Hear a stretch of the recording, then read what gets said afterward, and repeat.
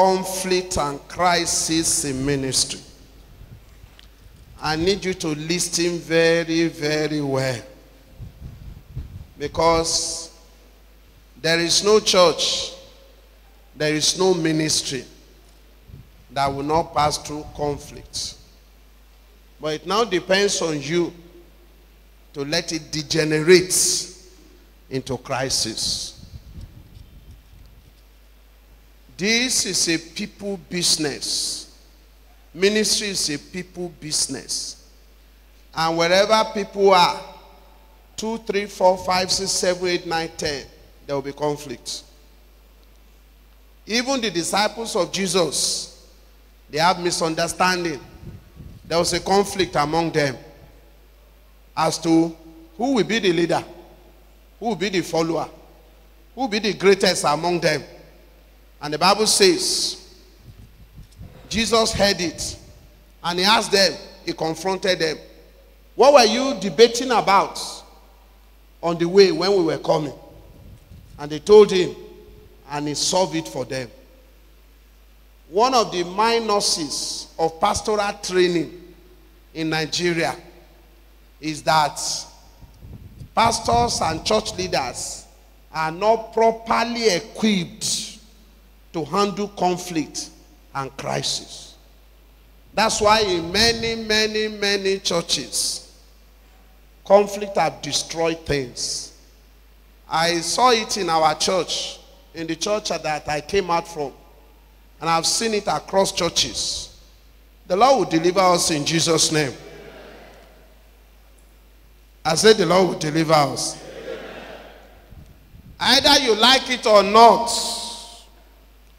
you will have to handle conflict in your life, in your ministry. Either family conflict, whatever, you will handle it. What am I trying to say?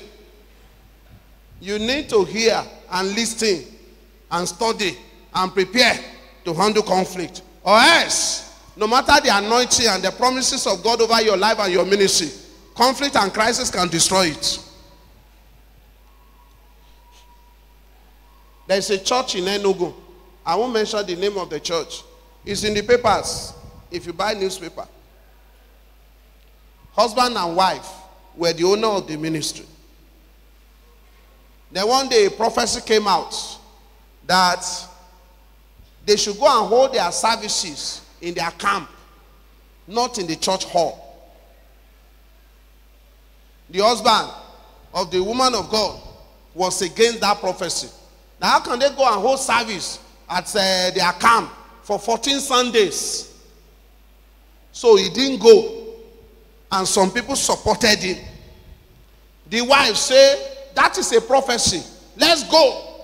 And she went. Some people supported her.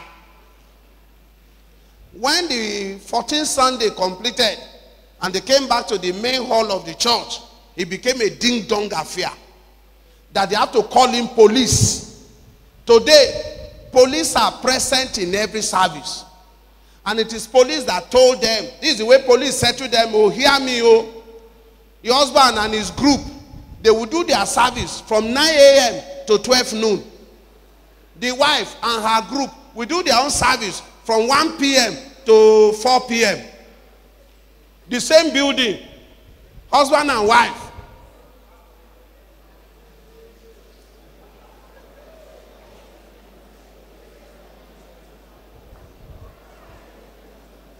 Conflict, crisis is a great enemy of your work.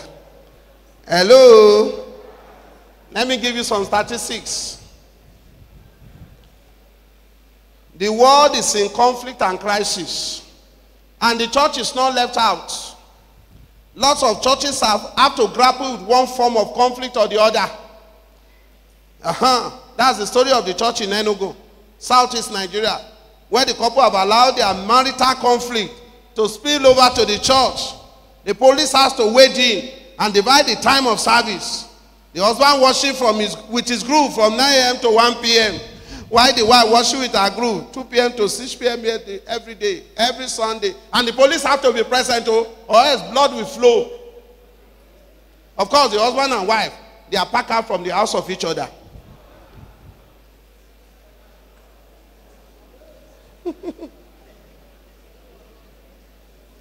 Today, conflict has festered in many churches simply because pastors and leaders are not prepared to handle conflicts and the damages are massive in churches. It's a fact that 25% of pastors have been driven out of churches, including me. I was driven out of my first pastorate. I remember. I remember very well. I was driven out. That was January 7, year 2000. No, 1991. Yes, 1991. And it's a spillover. The board of trustees of our church, they are trying to take over the church from the hand of our GO. So it's a boardroom quarrel. We, the normal members, we didn't know. We were fasting and praying, no. God promised many things, but those many things have never come to pass.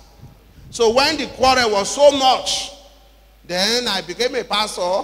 They transferred me to this church. But the one of the board of trustee was a surveyor.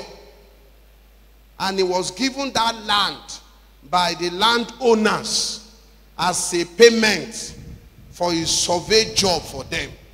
So he handed over that land to the church as a branch. There was no document, oh, it's just a gentleman uh, agreement. And a building was constructed. So the previous pastor there, when he resigned, he joined their group. He went and told them. But me, I didn't know. They just called me where I was an associate pastor, I think at Shoki. They say I should go there. So, and I went there oh, January 7, 1991. As I resumed, when I got to the church, I saw their car. When I entered, two of them were already sitting on the altar. Of course, I entered. I prayed. One of them came to me. He beckoned on me and said I should come out. I went out. With him, of course. He told me, So you are the one they brought here? I said, Yes, sir. he said, As you can see, we have taken over. He said, I know you. I know you can pray. And you have all these uh, koro koro koro messages. Those are his exact words. oh. Say, we know you can pray and you have these messages. He said, but let me inform you. You can't preach that message here. The Bible says, go, go ye into the world. You have to go ye into the world to go and preach that your message. Not here. Go and preach that your koro messages to them. Not here. I said, yes, sir. I said, sir, can I wait for the service? He said, you can wait, oh, but you are not sitting on the altar. You sit at the back. I said, no problem. And I waited. And they did the service. How many members were there? Atomode Atagba, àti àti Ológbò, 35. But they took over. And it's happening. A lot of deacons elders uh, that are driving pastors away. So there's conflict. There's conflict. Let me even read the statistics for you. According to statistics about conflict, since the beginning of the world, 4,500 wars have been fought. 4,500 wars have been fought. There are 4 billion people that have died in conflict, in wars, since the beginning of the world. Another one, the world, according to the Bible, is more than 6,000 years old now. There have been only 250 years of peace. The rest, one war or the other, one conflict or the other. Look at it in Nigeria. When we hear of uh, uh, bombing, suicide bombers, and all those things, wars, we always thought it's far away. Look at it. Boko Haram has brought it home here. You can think of Ukraine. You can think of Syria. You can think of many parts of the world. You can think of Iran. You can think of Iraq. Wars, conflict, conflict. May God save us. I say, may God save us. In the church, there will be conflict. Let's move on because I have a long way. Conflict in Latin is Latin in origin. It comes from the word con and flict. And the full meaning is confligere, meaning to strike together, to strike things together that will produce light. It carries the image of sparks of fire that is evoked. It shows that conflict may start as a small spark of fire, but if not promptly handled, may degenerate into huge conflagration or billows of flame that may consume all of us. Conflict doesn't necessarily have to lead to crisis if properly handled. Did you hear that? Conflict doesn't necessarily have to lead to crisis if properly handled. That's why I've written a book on it. Many of those stories I'm telling you, they are in that book. I will tell you the price later. But I need you to see something. Conflict is natural. Combat is optional. There can be conflict. There can be disagreement. There can be misunderstanding. But to turn to combat is your choice. Depending on how you handle it. It's not all conflict that should become crisis.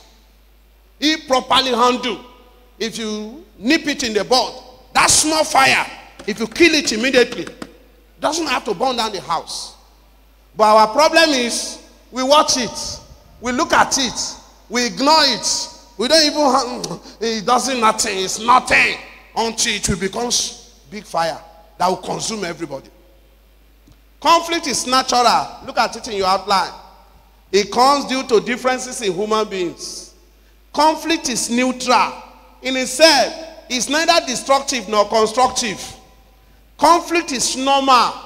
It happens to us all, everywhere, depending, depending on how it is uh, handled.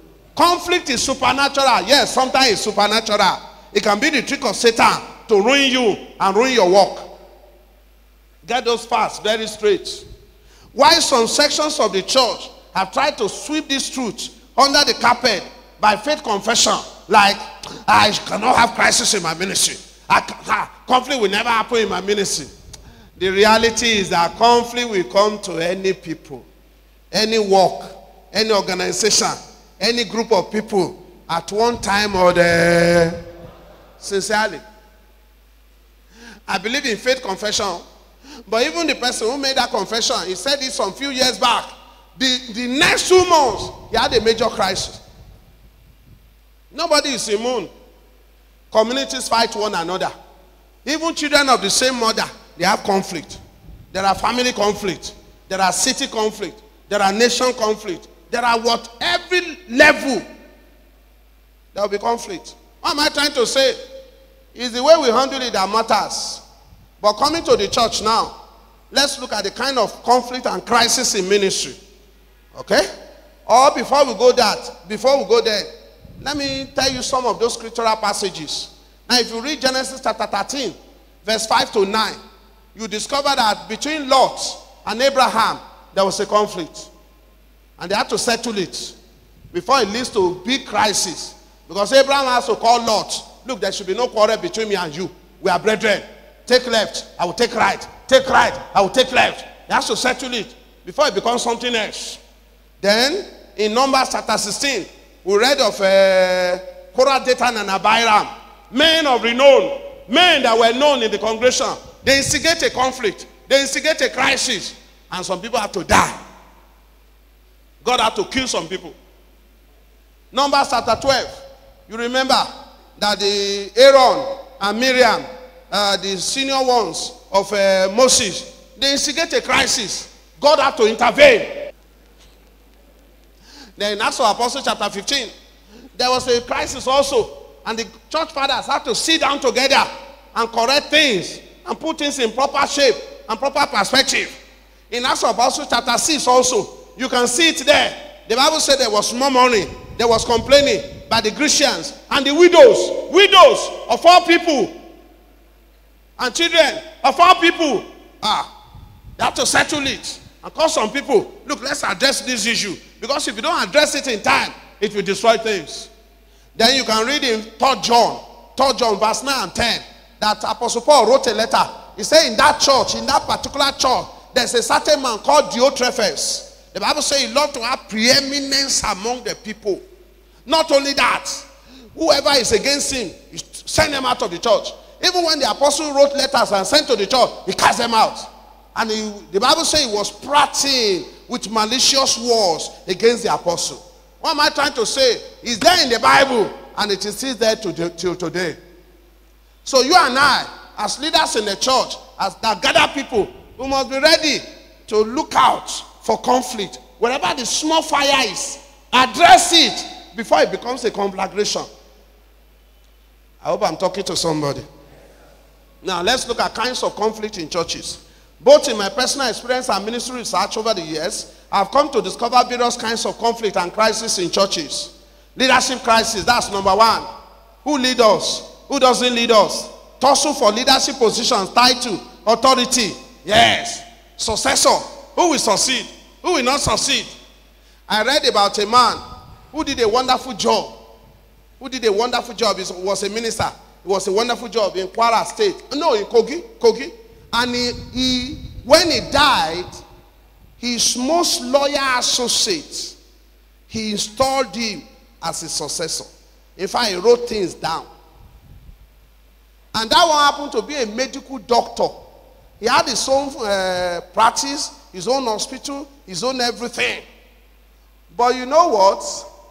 That late GO did not develop his wife and his children, and he didn't carry them along in the succession plan. So when he died and they buried him, and this one became the, the successor, the children, they went and met elders in the town and said, This stranger has come to take away the property of our father. And they went and burned down his clinic and destroyed his company. The case is still in court. Oh. Leadership crisis, successor crisis. That's why it's good for a leader to choose his successor, install him, and help him kill all his enemies before you die. That's the Bible. Oh. That's what King Solomon and King David did. Oh. Imagine that scenario. If King David had not killed all the enemies and make Solomon and give him his horse and his star, imagine what could have happened in his house. Children of the same mother. Hello? And Mo Moses installed Joshua while he was still here. So this one we are waiting for leader to die, to die before successor. Now crisis, oh. And many churches will not survive crisis. Sincerely. But you know, many leaders are behaving as if, at least I will have gone. Anything can happen. Financial crisis, that's another one. Conflict on who keeps and spends money, this is the greatest one. There is conflict of money, money, money, money, money, money. Most major conflict in churches, they center around money. Who handles the money? Who take what? Who doesn't take what? Should we bring the whole money to the headquarters? Uh-huh. What does the branches take? Or board of trustees? What will they share? What will they not share? You know, even this one that churches are starting universities, the conflict it will bring. You know, I often say it. People will say, ah, because it's all about money. Should be all of us have seen now. In those days, they said the university is a mission school. Be we have all seen that it's not mission school because they don't teach Bible there. They teach economics and all those things, and they use church money to do it. And there is money in that place, my brother. There is money. Ketra, money. Eh, water, money. Igbe, money. Everything, money. You will see what will happen.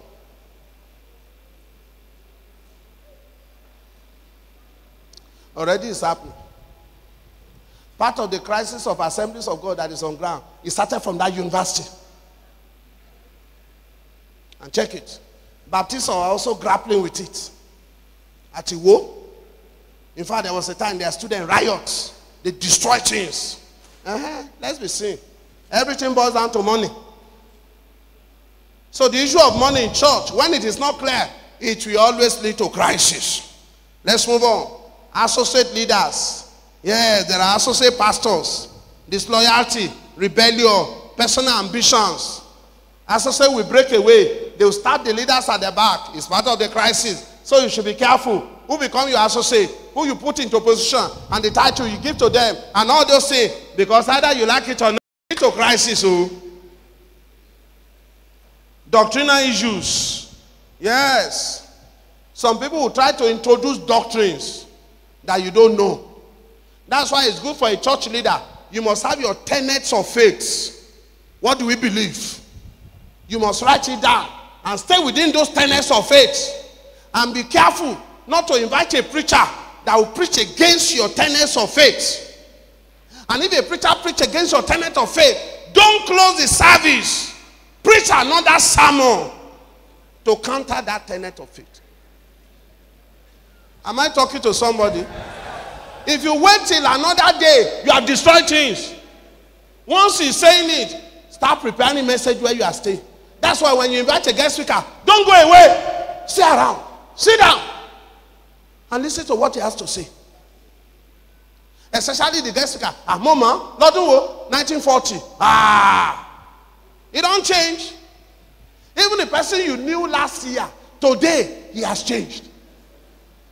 Don't be so full of administration. Hey, I need to prepare his uh, honorarium and the food and everything. You are moving up and down. You didn't hear what he's saying. Ah. Guest speakers of today, they will have finished your church before you know. So stay around. And if you discover anything, just come up. You say it with all grace and maturity. We thank God for our guest speaker. He was my friend.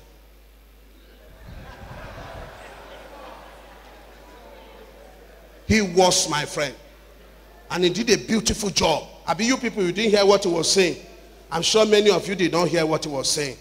Concerning rapture that he's talking about, what he was actually saying is that Jesus is coming to rapture us. We should prepare any time. That's what he's saying. It's you people that hear another thing. Blame the people.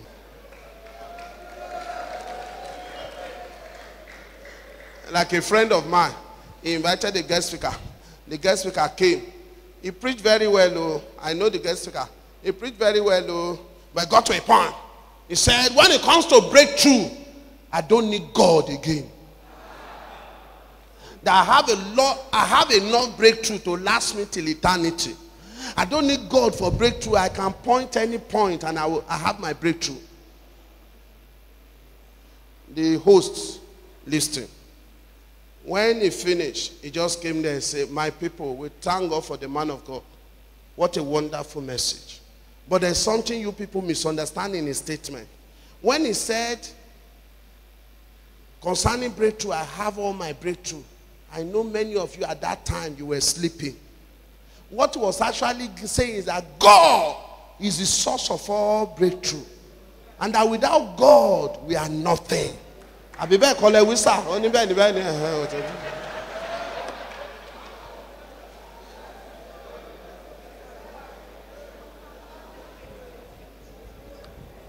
Doctrinal issues. It has caused crisis in churches. One pastor traveled to US and he met with some people that talked about uh, you can divorce and remarry. You can divorce and remarry. And this pastor had wanted to divorce his wife before because he doesn't know how to do it. So he imbibed that doctrine. When he came, he invited a friend to help him do the teaching. And as that one was doing it, people carried their Bible and they left the church. And they never came back. Doctrinal issues. Pastor's family. Yes. There are pastors' family that bring crisis to church. Crisis. Bringing shame and corruption to the people. Yes. That's why my words this is the way I say it, and God help all of us. Don't allow your family or your marriage to destroy your ministry. And don't allow your ministry to destroy your. It's important, my brethren. We need to strike a balance. And you, pastors' wives, please stop fighting for the position that God did not place you. And me say, I want to sit on the altar. When you are not a pastor, you are not a preacher, you are not an apostle, you are not an evangelist, you are not a teacher, you are not that, you want to sit on the altar, you know what will happen to you? Eh. May you not die before your time. If God give you a children ministry, why don't you go and sit there? If God give you a prayer ministry, why don't you go and hide there? He will never protect you where he didn't send you to. They push you, you remain standing, you stand gidigba, and that is mommy. Me, mommy. But you are empty. There's nothing in it. Instead, they should call you mommy. Kàn fún ẹ lẹ́bù lásán. Ó ti já dànù. In one church, one pastor married one strange woman.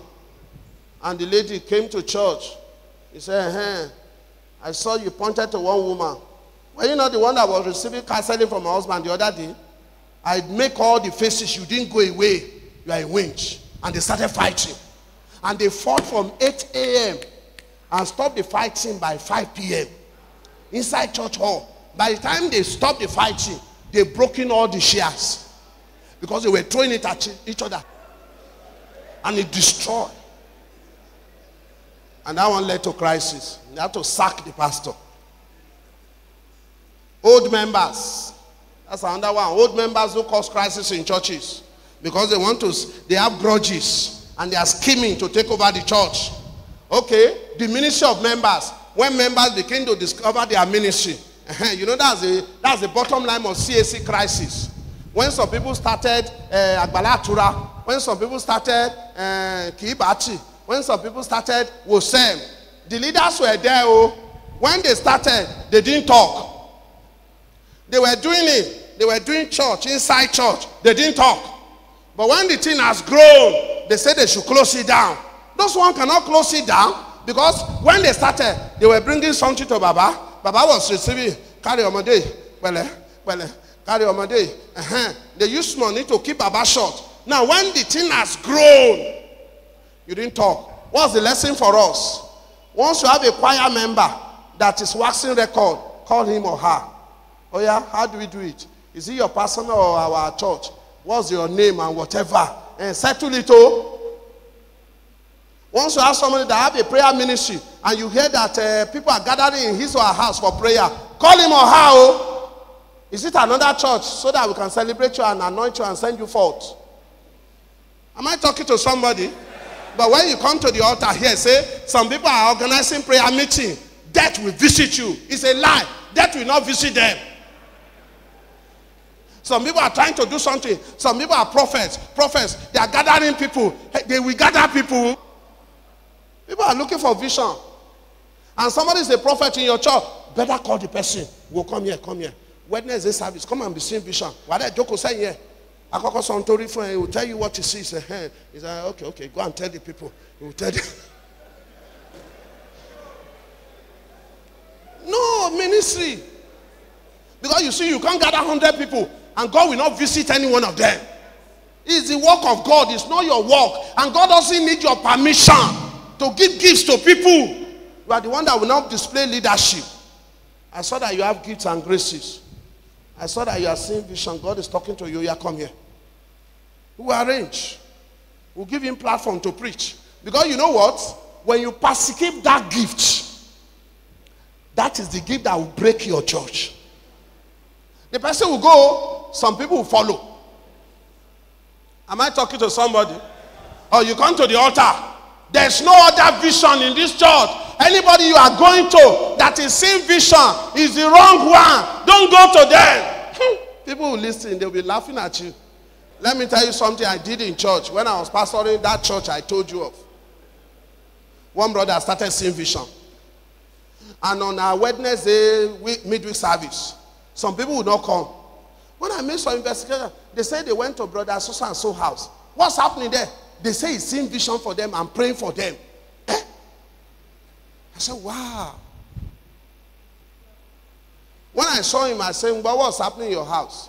Hey, he said some people came to me, oh, and uh, we were praying. We didn't know the time has gone. And uh, God was talking some few things to them. I said, okay, is that the case? He covered it. I said, no problem. I was a young pastor, but God gave me this wisdom. I didn't know how I handled it, but I, I remember this what I did. And when we are praying, when we gather the church, normally we do every two two weeks we do three day fasting and prayer. We the workers will be in church. Then we finish on Sunday morning. Other people come and join us. And this guy will be seeing vision, correct vision. But he wants to break the church. You know what I did? I didn't even fight him. I went for prayer. I said, Lord, I thank you for the vision you give to this brother. You did a good job, but you don't need my permission because it's your son. But he's trying to break the church. I didn't say collect it from you. Don't collect it. But give me my own. Give me my own.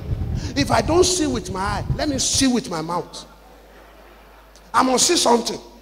I must see something that will bring the heart of these people back to me. No, give me something, please. Or else he will take over the church. oh.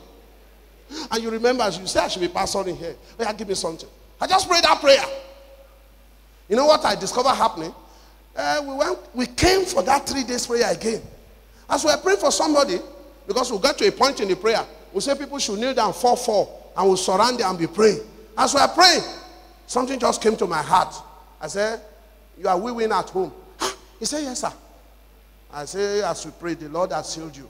That brother now came, say, ah, ah, Yes, sir. I just saw that she's weeping at home. Shoribe, you want to call along, got you.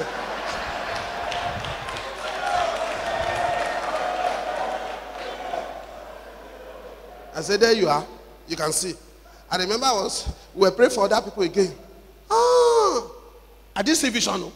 It just came to my heart. Shh. I just said, Mr. Man, yesterday you had a dream. Somebody was pursuing you. Ah, he said, Yes, sir. I said, The Lord has delivered you with this prayer. And that brother came to me again. He said, That's what I just saw. I said, There you are. There you are. You can see now that you are not the only one seeing vision. You know, by the time that one happened, I remember one Sunday service. As I was to preach, I just felt I should not preach. I felt we should pray. It's just a feeling. I just felt we should pray. So I said, Ah, I'm not preaching. Let's pray. Let's pray against accident. And we prayed. This brother came. He said, Sir, ah, I'm surprised at you. I said, How? He said, That is what God showed me when I was praying. I said, There you are. Out of the mouth of two witnesses. You know, in one month, the whole church started coming to me. Sir, see vision for us. Money was sharing. They said, Sir, show you the see. I said, I can see. It was there I started saying, If I don't see with my eye, I dey see with my mouth. That's how I rendered the brother. If I have not handled it that way, he will have broken the church. And people say I'm persecuting him. So when it comes to ministry of members and gifts, that's why as a pastor, you cannot remain as a dullard. If they are seeing vision, you too must see. You may not see it in the whole length, oh, but uh, you must see something, sir. You must see something. And out of ten, tí méjì bá correct, àdúpẹ́, àdúpẹ́. You are don't all ten of them doesn't need to correct. I pray for somebody, the person fell down. He says, I'm not healed. I say, Hallelujah. At least I didn't pray my name. They are too bad. Even Jesus, he touched somebody's eye. He said, What do you see? He said, I see men like trees. He touched him the second time. If Jesus had to do it two times, who is me? Oh, yeah, need that again. I say, if I pray, if God healed you, amen. If he doesn't heal you, it's not my problem. Oh. Mean, man, to ṣe tó fi kóró ṣòro. Uh-huh. You are blessed. Okay, let's move on. Root cause of crisis. You know, those are little, little things that has caused crisis. Yes, sir. Those are little, little things. Guest speakers, barrenness atmosphere. When people are not getting blessed in your church, it can lead to crisis. When people are losing their home, they are losing their job, they are losing their finances, they are losing their career. It will lead to crisis. Members will start talking to each other that this church is a barren ground. Oh. So that's why you need to become a fruitful minister. You need to become a green minister. What are the root cause? Of course, there's spiritual side to it. You can see there. The devil that hates the church will instigate crisis. At the same time, there are human errors. Human errors. And look at the human errors. When leaders break trust with people, when you break trust, you can no longer be trusted. You became the problem. It will lead to crisis. Scandals of immorality and financial scam. It will lead to crisis. Let me tell you, my brethren, if you are an immoral minister and you are a chief, there's no way that church will survive. You may manage it for years, but it will crash. It will crash. Check it. Check it. Check it. I can tell you stories. Check it. You are an immoral person, a shepherd. You are mating your sheep. You are sleeping with members, somebody's wife, somebody's daughter, your secretary, whatever. I can bet you it's just a question of time. It will leak out. Or you are stealing church money, you are the offering, you are working the books, you are doctoring the books. The one they, they say you should bring at headquarters, you don't take it, you doctor it. That work will crash. Hello? If you don't know anything, check American preachers as example. You know, they say we should not talk of Nigerian preachers. Okay, let's talk about American preachers. How many of them? How many of them? I see around. When you are involved in crisis and not, is the way down. When you become an immoral minister, I can bet you is the way down. Scripturally, experientially. In Lagos here, let me show you one. In Lagos here, at least I can recollect. In Lagos here, you remember 94, 95, 96, 97, 98, 99, 2000. There was one church in Lagos, around Lekki area. You remember? The man had an aircraft too. But that aircraft was towed along eh, the Igondo Road some few months back. They towed it to Badagry. You didn't read it in the papers. That broke down in the middle of the road. That's the aircraft of the man of God. That was a church of 10,000 member. Somebody did a research who was close to them. The offering alone and the tithe in a month was 40 million by then. But what did they use it for? Extravaganza, extravaganza, extravaganza. By the time he died, around 2004, the church has reduced from 10,000 to less than 100 members. Since he died now, the wife took it over. The church has not come back. Oh. When you go on Lekki Expressway, you see by the right. Massive structures, but devoid of people. There's another church around that time also. They used National Stadium here. You remember that speaking in tongue? Skolaba, Skolaba, Skolaba, Skolaba. Hey, rántí? He impregnated his secretary. Somebody that know him very closely, father-in-law, the Lord is here. He walks around 11 p.m., 12 no, 12 midnight. The father in the Lord was telling me one day that he came in a cover of about maybe four or six cars, almost the same plate number. And he said, Why are you walking in the night? A good person doesn't walk at night. He says, Yes, that's the time I can walk. And what did he come for? Daddy, pray for me. And that one said he warned him. Say, hmm, hmm. In Lagos area alone, he had more than 400 churches. But when he fall into scandal, he ran to Europe. All those 400 churches are closed down. Even the headquarter at Igomu, that expressway they are doing has cut it to half. We have examples. We have examples. About American preachers. Preachers almost everywhere. Is it Zambia? Is it South Africa? Or wherever? It's the same thing. Once you are an immoral minister, once you are a thief, a robber, you only appear for some time. Your sun will set at noon. It's not a cause, it's a reality. And it will precipitate crisis. You may not leave the church, but God will send out his own people. Re- relations and family members, when you have them as your vital associate, they will lead to crisis. Be careful of churches that you start. Family Gospel Church of Jesus Christ of Nazareth. Wrong foundation. When you start the church in crisis, yes. When you start the church in crisis, yeah, as a result of rebellion, treating serious issues with kids' gloves, that's another fault that leads to crisis. You know, when, when issues are being brought to your attention, but you don't, you just say, let's forget it, let's forget it. I better leave that one, leave that one. My brother, you are precipitating crisis. Double standard in dealing with cases and secrecy about church financial dealings. Yes, when there's double standard, this one does this, we discipline him or her. Another person does it, but because it's uh, one, one, one animal is more equal than another. George Orwell, Animal Farm, we forgo that one. Injustice, you are bringing crisis gradually. Surrendering authority to foundation members. Yes, when your foundation members have taken over, they have taken over the church. The trustees and the boards, they are the owner. The pastor is nothing. You are surrendering to crisis. You are participating crisis. Quick ordination of too many associates. Yes, when you love to ordain people, your hand is scratching you. One day you ordain people. I often told the story of a friend who started a church. Um, two months later, he wants to ordain two pastors, six deacons. He came to my office. I said, My brother, you are making a terrible mistake.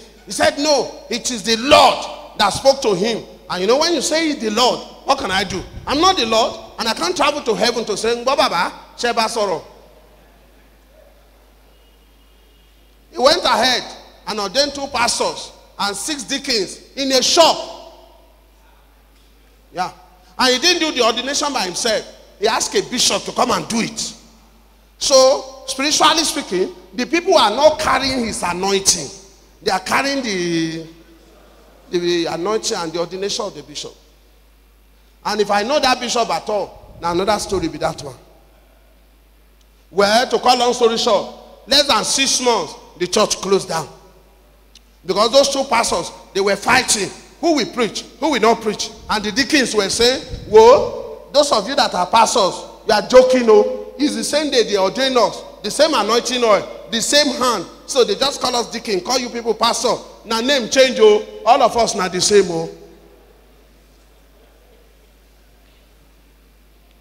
Bringing many strange bedfellows together, yes. People that their stomach are not the same. People that are not in unity. People that can't work together. We just put them together in the name of many, many people. We will destroy the work.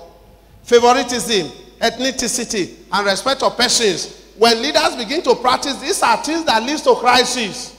These are things to carrying from one side, incapable and incompetent, vengeful transfers, injustices in administration. Yes. Like one pastor was asked, was asking a question at Akure. He said, one pastor was taken to a church, a, a barren ground, and he, his wife, and two other workers were asked to start a church. That pastor fasted and prayed, spent his money, and in three years, he had about 100 adult members. It was then the denomination brought a pastor, another pastor. They say that one is his senior pastor. This one is a full time, that one is a part time, but he has money and is highly educated. He said he didn't even quarrel, he accepted because it's a denominational policy. So they brought him and they were pastoring. But just like my story that I told you, that's what happened. Members will come and give testimony that they saw that pastor that started the church, that one that has fasted and prayed, came and prayed for them in their dream and they got healed. Almost every testimony, people refer to that young pastor. This senior one went and reports that that junior one does not allow him to pastor the church. And you know what did the authority do? The one who started the church, they transfer him to go and begin again. And they took this one to what he did not suffer for. That's how denomination precipitate crisis. You know, and when it happens and happens and happens and happens, some people have anger, they have bitterness, they have all those things against church authority. Before you know it, God will start to withdraw gradually. If you allow me to say it, there's too many injustices in Nigerian churches. When it comes to transfer, when it comes to promotion, when it comes to church administration, there's too many biases, there's too many ethnicity. And that's why we are having crisis here and there. May God have mercy on us. Let me, how do leaders handle crisis? I'm almost rounding up. How do we handle crisis? Total war. Total war. Hardline stand, destructive. Fight to finish. Total war. Have you seen churches where they carry placard? Yeah. Carry placard. We no go agree, oh, we no go agree and people protest. People protest. Total war. Second one, civil war or cold war. Some people don't fight total war, but they fight cold war. Secret detestation of each other, pretending, but fighting each other within. Both of us can sit on the altar. We are still working together, but our stomach are different. We use stomach to fight each other and we bite each other at the back. Cold war. But we shout hallelujah together. Hallelujah. But inside. Number three, tribal and intertribal war. Ethnicism, division, disunity along tribal lines, language barrier, and sectional bigotry. is in our churches. Ethnicism. You are from Igbo. You are from Yoruba. You have even among Yoruba, there's difference. Now Akure people, now Oyo people, now Ogun people, now Ondo people, now Ekiti people, now Kwara people. We do it in church. It's just that I don't want to mention, but we do it. It's happening. There are churches that if you are not from this lineage, you are not from this tribe, you cannot get to the position. Even though you are eminently qualified. Even if God say na you, they say na lie. You can't get there. Intertribal wars. Number four, guerrilla war. That's the way we handle crisis. So guerrilla war, causing havoc with surprising tactics, fighting and doing damage. From where? That's what Boko Haram is doing. Guerrilla tactics. You don't know them. They are among us, but we don't know them. And it's happening in churches. That's why how we handle crisis. Their enemy within, they will be causing a lot of mayhem. They will be writing a lot of anonymous letters, anonymous petition. But you won't know their name. They won't put their name. And they'll be causing a lot of havoc inside church. That is crisis. Number five, Jojo is my idea. Because it says it's better to Jojo than to war war. And the fifth one is only the correct one. Every other one is wrong. Even the best of wars, they are settled on the round table. They are not settled on the battlefield. So if there are crises in our churches, we need to settle it. We need to come to reconciliation. We need a round table discussion.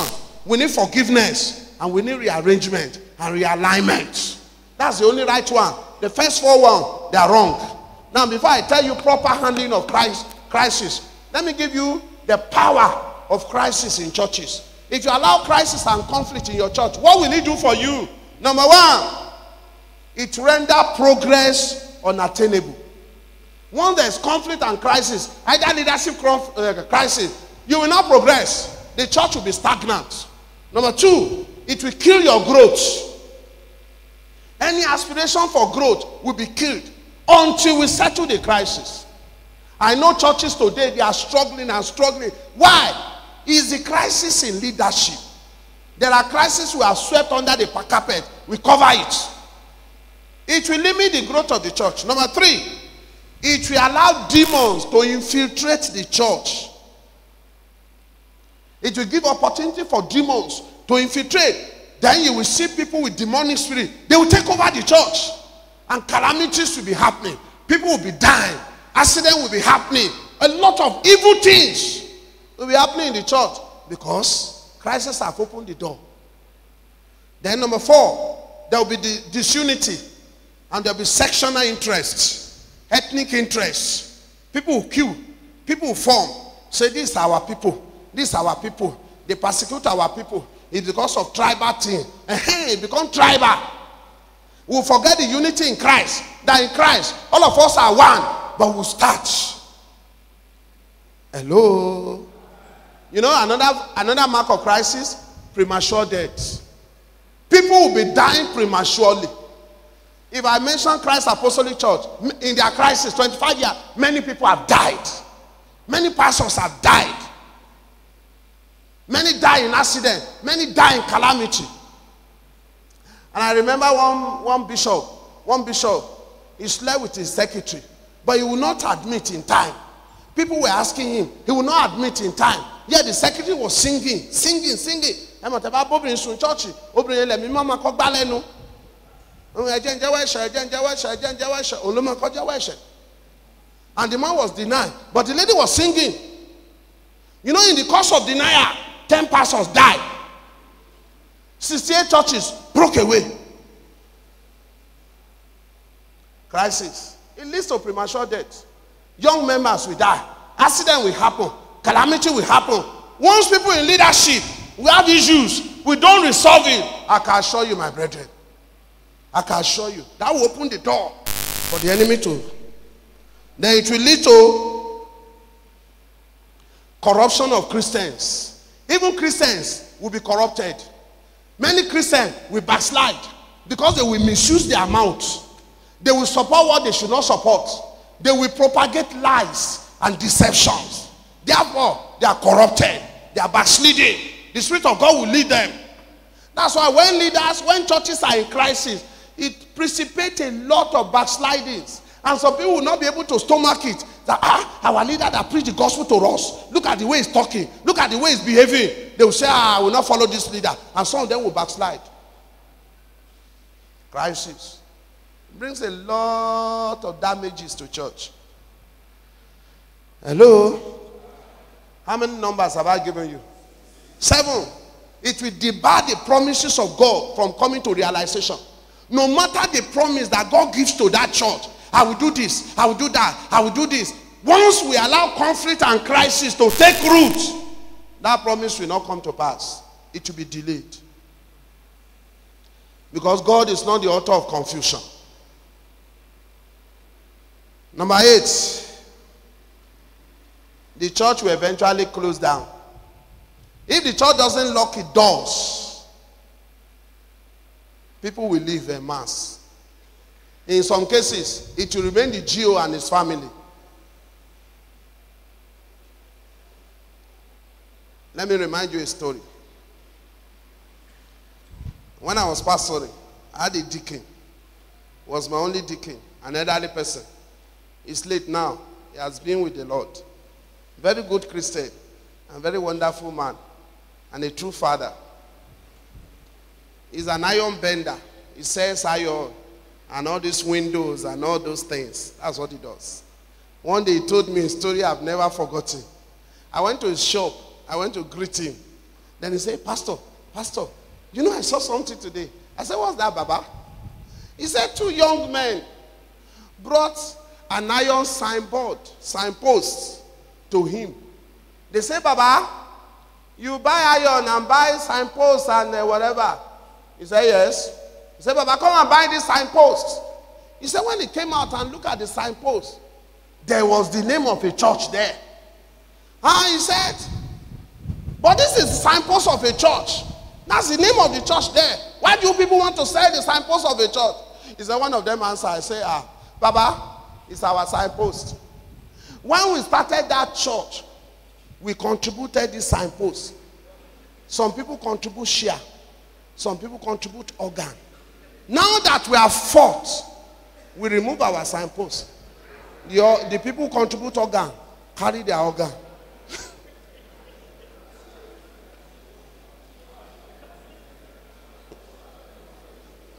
Stand up on your feet.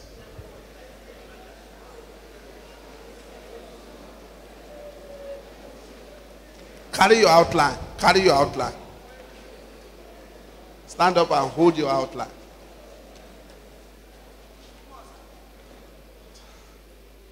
Two more. Oh, yeah?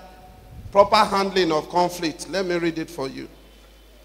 It must be emphasized that conflicts don't necessarily have to degenerate into crisis. If they are properly, maturedly, and quickly handled with prayer and uh, wisdom. Once you see the fire there, in fact, somebody told you that uh, what and what and what is happening. Don't say, uh, I'll be watching. Don't watch. Call the person. I hear this, I hear this, I hear this, I hear this. What about it? Yeah, let's talk. You need to quickly address it, or else. Okay? The leader must not be the problem or part of the problem, but must be the solution. Every competent leader must provide solutions to conflict and crisis in ministry. And here are ways to do it. Develop your capacity to handle problems. Because if you don't handle them, nobody will. You know one thing about crisis? It's your responsibility as a leader. If you don't handle it, nobody will handle it. It has happened to me. Even we that are running ministry. 2005, 2006, I will never forget in my life. This church growth you are today, it will and be. It was so great. We're losing people. And people were saying a lot of things. My associate, to not you people. Not you people. If I degenerate to a point, you remember that plane crash in, in Abuja? That plane crash in Abuja. The one that the Sultan died. ADC. The one that the Sultan of Sokoto died in at Abuja. Good. In the manifest of the plane, there was an Akin-John there. That was our time of crisis. When the newspaper carried that manifest, and people saw Akin-John, my associate to people that preach here and we do things together, they started congratulating one another. He's gone. That is me. oh.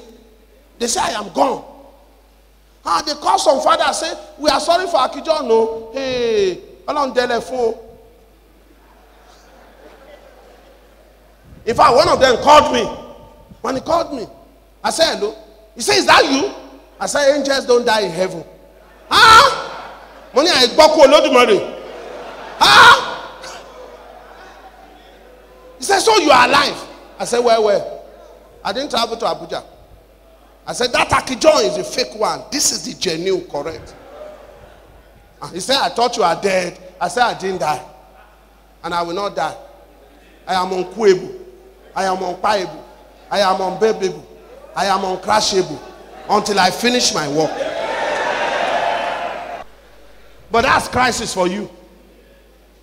Not that I took money from their church, oh. It's because uh, we should be sharing the money. I say no. We'll use the money to be growing the ministry. That's the secret of everything.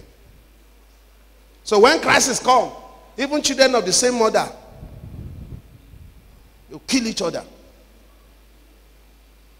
Until I was bold enough, I told her, I said, don't stop coming here. Don't come here again. Ah, he said, ah. I said, I don't want to see you here. Ah, Baba Folani is here. He can testify. They even went and report me to Baba. They went and told stories. One good thing Baba did, Baba called me. He said, This man you are telling his story. I could we call him. So he called me. I was there. I went with register. We sat down. They told stories. I kept quiet. Baba said, oh, yeah, say your own. I said, this one, this is it. Baba asked them this, asked them this. Baba asked them. They couldn't talk. Baba said, huh? So you people, this is what you did. I said, well, sir, that's what I did. I said, ask him. He went and started a school. He was teaching our lectures, awarding our certificates, using our outlines. Ah, Baba said, Mbo. And he said his old outline. Ah, did you take permission? He said no. I said, I'm not threatened by them. But they just want to pull down the ministry. I mean, I won't allow that. Because they have their church. If this one die, they can return to their church. Me, I have nowhere to return to. So I'm not going to open my eyes that somebody will destroy this one. Never. If that is the only fight I will fight, I will fight that one. I thank God there was another father there. That one said, Well, let us settle this matter. Let these people be going their way. Let Akijon be going his way. And that's how we settle it. Today we meet, we shake hands. How are you, sir? Bless you, sir. But am I okay? Your ministry will not collapse.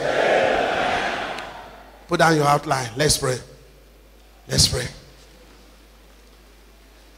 Every crisis, every conflict that want to destroy my ministry, I destroy them today.